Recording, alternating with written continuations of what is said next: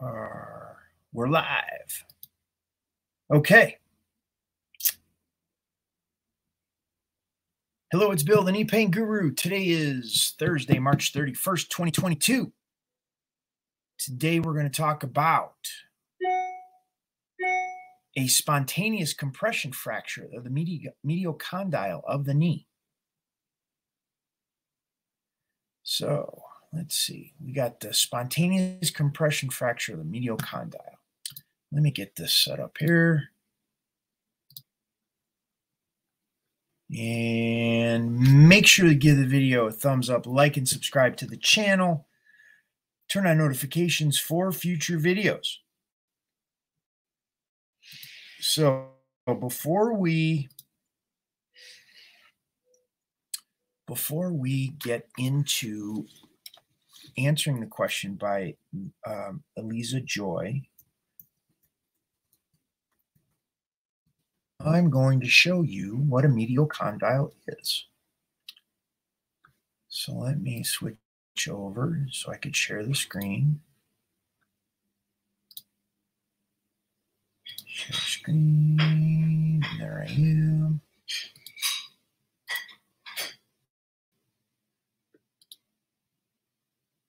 There we go. Okay, we're going to share the screen.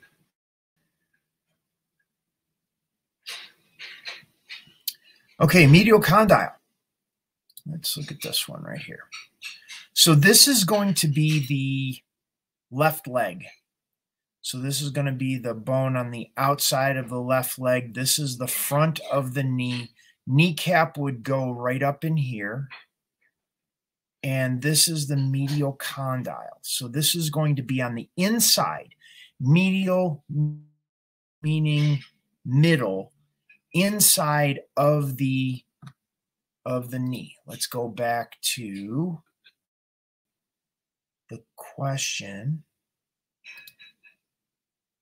that Eleeza had. Just so everyone's familiar with where we're talking about in the body, because many times doctors use terms that are kind of confusing and uh, we can get caught up in the the diagnosis and then completely miss exactly what's going on with the knee. So we don't we want to make sure we're connecting the dots and understanding the process of where the knee hurts in the pro in uh, in what we're talking about.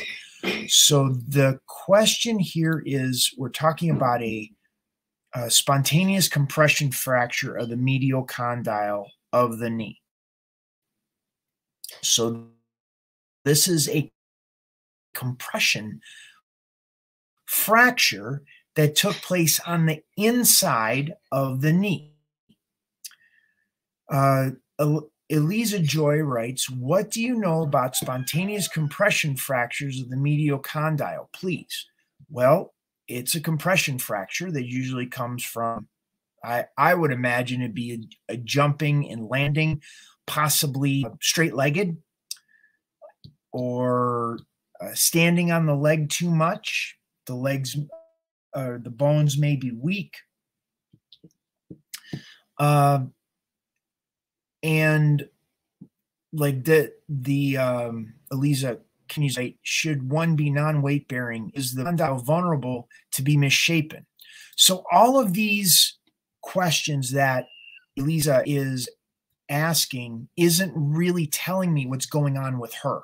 So this is how we can have a diagnosis from the doctor and it gets questions being asked that aren't necessarily addressing the problem that Eleeza is dealing with or addressing.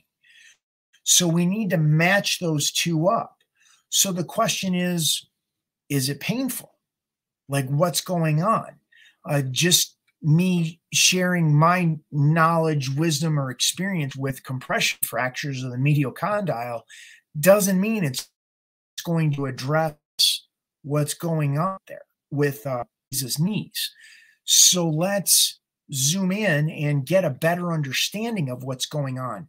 Um, is it pain uh, uh, for? Pain when she stands? Is it pain when she walks? Is it pain when, does it hurt when uh, she sits down? Is it only hurt those situate uh, one or all of those situations or scenarios.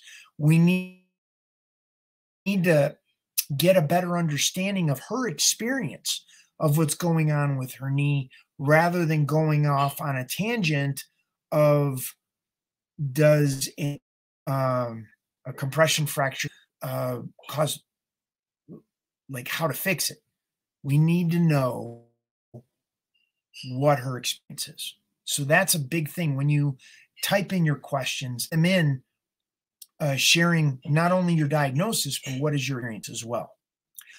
From my perspective, whenever there's pain, and I'm assuming there would be pain, we don't know enough by what Eleeza um, shared. We need to understand uh, that what type of tension pattern is going on. So, based on that, uh, that attention pattern going on how can we create comfort in going on in the knee? With that information we can go to specific what i refer to as pain pattern interrupts to in me that go a thumbs up like and subscribe to the channel. Turn on notifications for future videos.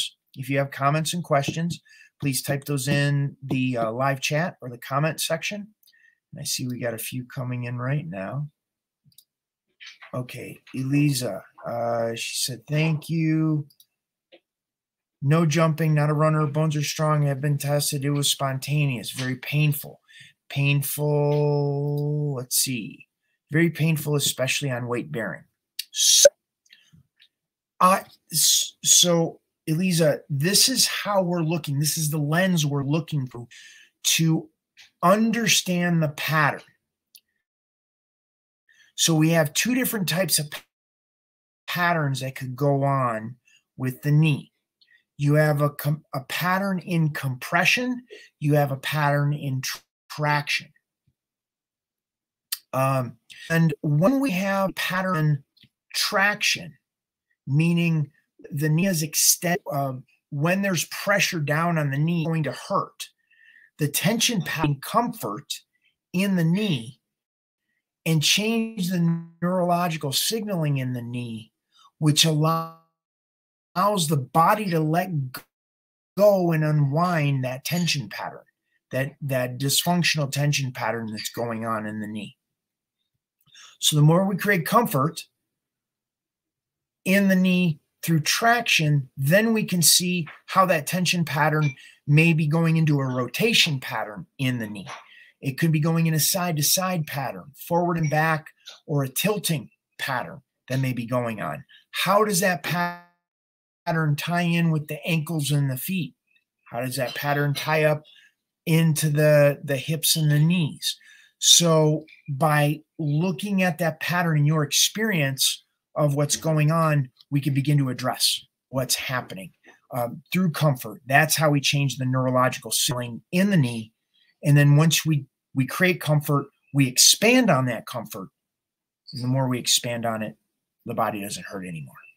So, Lisa, uh, let me know if that uh, makes sense, um, and we can dig into that further if it doesn't. If it does, whoever's watching, give the video a thumbs up, like and subscribe to the channel, turn on notifications for future videos. Um, let me see. Ian. Gerismos. Hello from Greece. Long time, dear Bill. Hey, good to see you. Thank you for the uh, for the help. Nice. That's really cool. I like that. That is good to hear. I am going to grab that. Um, so yeah, appreciate that. 100 kilos. That's that's pretty. That's legit. That's good stuff. Okay, Eleeza. Yes, I think it could be that ham and the sandwich biomechanics uh, between the hip and the ankle might be changing. Uh, that could be the case. Um, the the fastest way I found the fastest way through that create comfort, changes the neurology like pretty quick, and then we see what's on the other side of that. Um, if you would like more information, you can head on over to my website, thekneepainguru.com, and get a complimentary membership to Knee Club Lite. You can check that out. And you can also give us a call, or let me, uh, let me see, speak or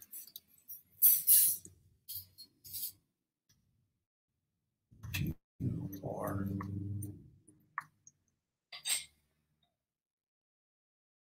let me change that. Okay, let's see. Show the ticker. Speak to or text. So you can text us if you'd like. We can get in touch with you. Um, at the uh, our toll free number, uh, 877 891 9484. It's questions. Please type those in the live chat or the comment section. We will get to those this evening. I'll be on here until all the questions are answered. And if you're watching the replay, type in your questions as um, I use these questions for future videos. We do these videos several times per week, asking questions or answering questions. We're addressing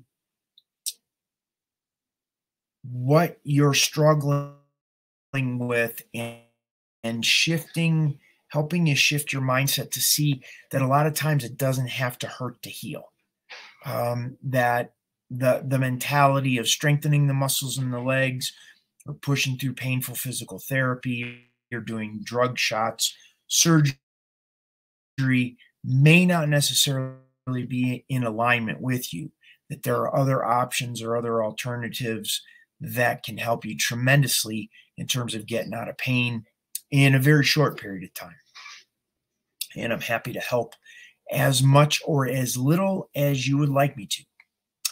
So, it looks like that's going to wrap that up for today. I have a short video I'd like to play for you.